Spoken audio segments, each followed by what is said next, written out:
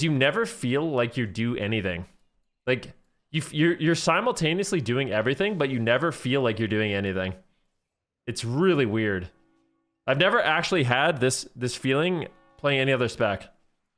Like the whole game, you feel like you're just doing nothing and doing no damage.